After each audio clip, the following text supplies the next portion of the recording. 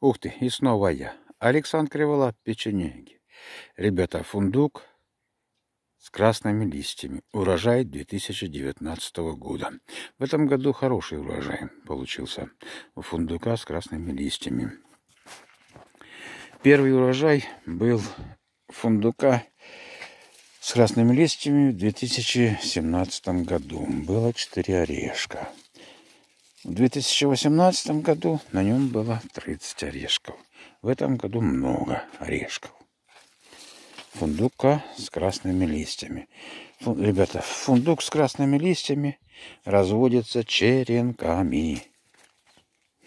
Я сам удивился, э, что он разводится черенками. Я попробую вырастить из черенков фундучок. Так, однолеточку отрежу и посажу.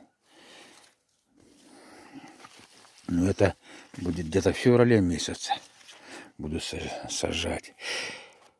Я садил орешки. Три орешка посадил. Э, фундука с красными листьями. Но у меня проросло только одно. Один орешек. И листья были зеленые. Так что не получается с орешка. А вот, ребятка, я эту веточку, она была однолеточка, вот. Я ее прокопал в землю, вот так, вот так вот, закопал на, на глубину 10 сантиметров. И Будем ждать года два-три. И этот э, побег должен пустить корень. И будет у меня два куста ореха, фундука с красными листьями. Ну что, ребятка, всем пока-пока, наверное. До скорого. С вами был Александр Кривола, печенеги.